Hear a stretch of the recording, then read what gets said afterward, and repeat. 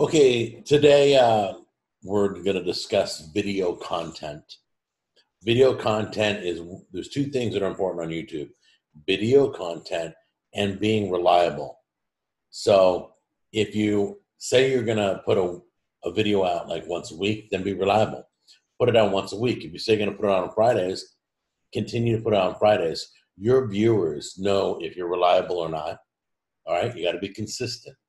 Um, a phrase that I use on the show uh, or with my friends when I'm teaching them about YouTube is feeding the beast. And by feeding the beast, you're constantly putting content on social media, and the beast is the internet or YouTube or Facebook or anything. So, feeding the beast is constantly feeding information about your show. So, put a video out, market your video on in you know on social media uh, and then take a poll in the middle of the week about food. If you're a food show if you're about cars about cars uh, poll your audience talk to your audience. Uh, you continually feed the beast. So write that down. Feeding the beast is important because the moment you don't things decline whether it's your viewership or anything else. So um, so when you're looking at what kind of video content you want, um, let me tell you something. I know the food industry because I do cooking shows. Uh, I will tell you this: that if you're doing a cooking show, the moment you taste the food, and mmm, that's good. The moment you do that, whether it's the Food Network or your show or whatever, is the moment they bail. They leave the video. So if you have anything important to say in your video, or you have a sponsor, make sure it's way before then. I always do my sponsorship the first minute of the video, um, just in case people tune out. They saw my sponsor and uh, they got they got notified on uh, you know who sponsored the video and all that. Um, but yeah, so make sure you get your stuff, your important stuff up front in your video. Okay. Um, the other thing is, uh, it it's important to pick some of you do videos that take 100 hours. I know like Peter Hollens uh, he's an acapella singer.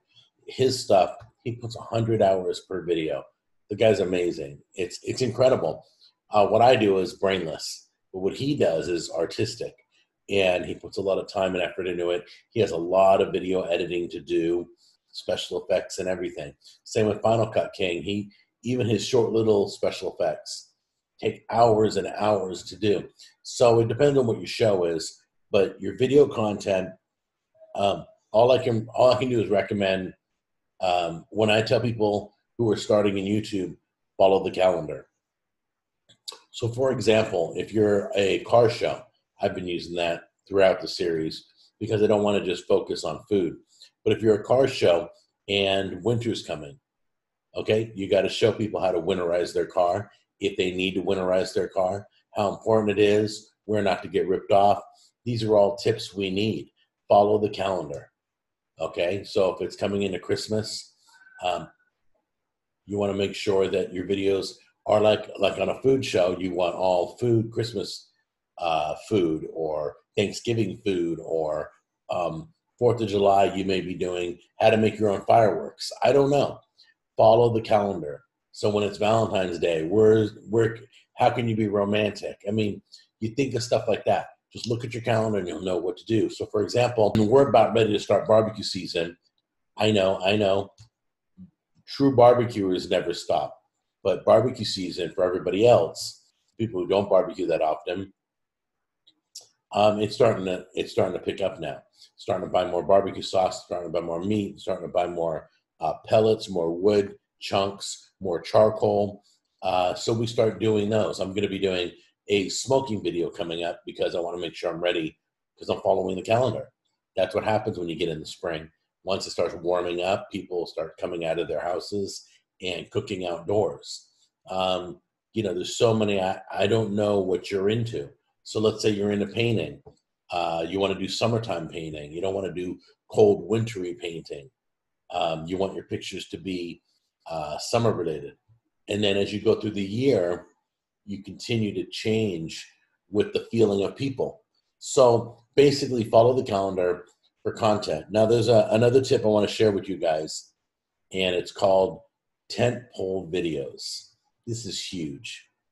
Tent, like a tent when you go camping, tent pole videos. All right. Pay attention because the tent pole is considered the center pole, the tallest pole of your tent. The most important pole in your tent is that very center point where it goes the highest. Okay.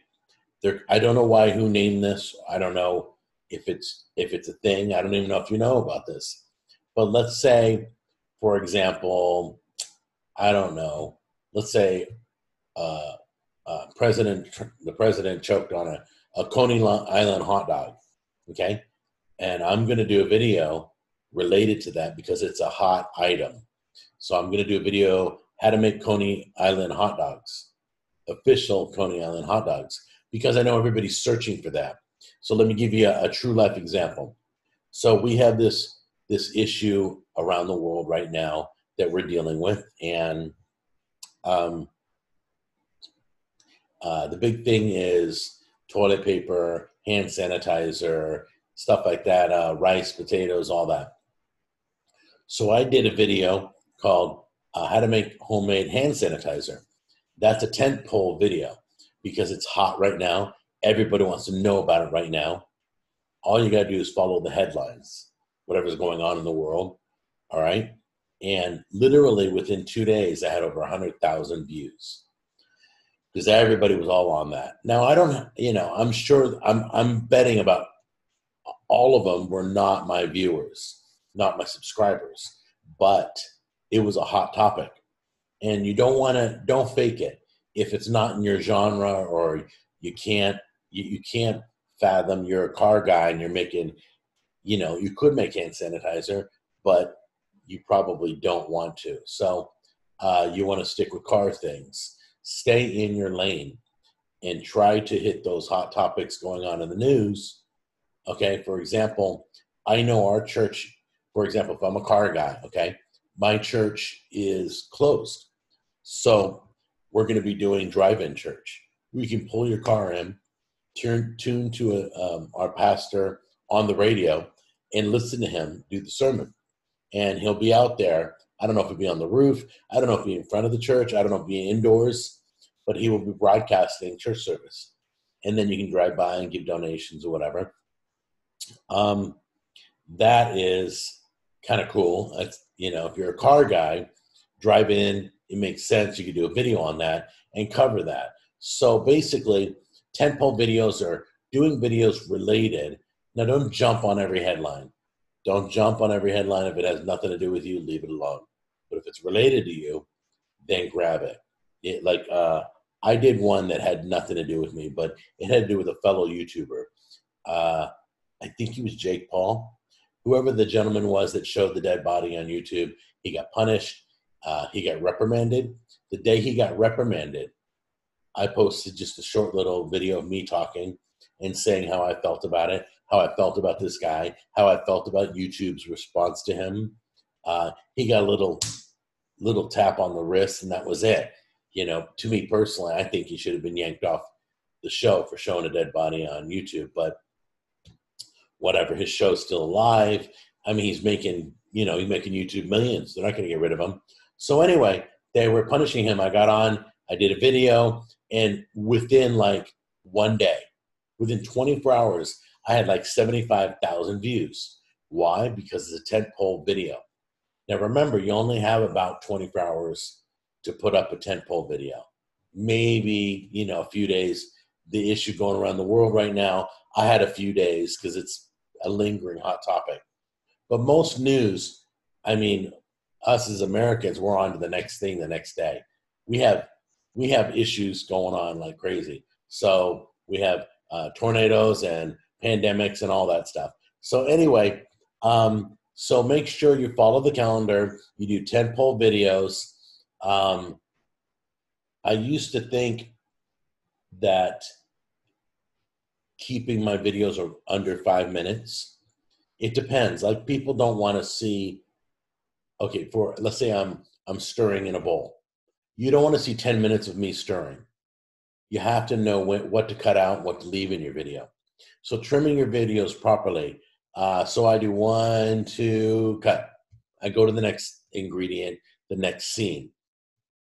I don't want to bore you guys. Your time is valuable. When somebody's watching my video, their time is valuable. And please remember, please remember the viewers are the reason you're on YouTube. The viewers are the reason I have a show. So realize that. So, uh, you know, show respect to the viewers. Um, they're taking the time to watch your video, and this way you can make a living at YouTube. Okay, so uh, be thankful for them. Uh, treat them with respect and love, and uh, don't get frustrated by viewers. There's so many different types of people, but most of viewers love you. They're good followers. Um, realize they're kind of like a second family. Okay, so remember, you got to have good content. You got to follow the calendar, tentpole videos, uh, trim your videos correctly. And this is all related to content. Make sure the content's good. Make sure you got good audio because if you don't have good audio, the video can be a little grainy or low budget, but the audio, they won't be forgiving. So good audio is more important than good video to a, a, a YouTube viewer, at least in my opinion what I've learned over the years. So have fun with it. Don't always chase the headlines, but if it feels appropriate and you want to do a video related to the headlines, make that tentpole video. Do it do it quickly so you can get it out there before the next great travesty happens. anyway, you guys take care. I hope you're all safe.